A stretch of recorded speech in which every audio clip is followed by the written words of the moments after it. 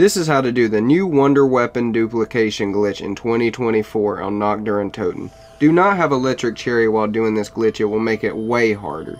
You're also going to need near-death experience for this glitch. The first step is when you and your friends spawn in this small ass area, you're going to want to get as many points as you can saved up because you're going to need them later for the box. The second step is both you and your friend go buy Mule Kick from the spawn room. The only person who really needs Mule Kick is the one who's getting the Wonder Weapon from the mystery box the first time. Step 3. You or your friend pull the Thunder Gun or the Ray Gun Mark II from the mystery box.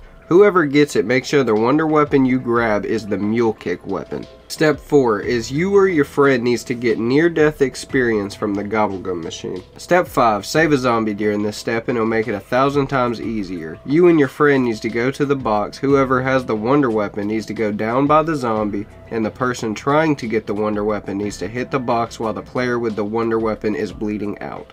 If you do not get the Wonder Weapon, just run over, revive your teammate with the near-death experience before he bleeds out, and try again. It may take a while, it did take us a long time, but eventually you'll get it like you see here me and my friend did in this clip. But voila, duplicated Wonder Weapons in Black Ops 3 in 2024.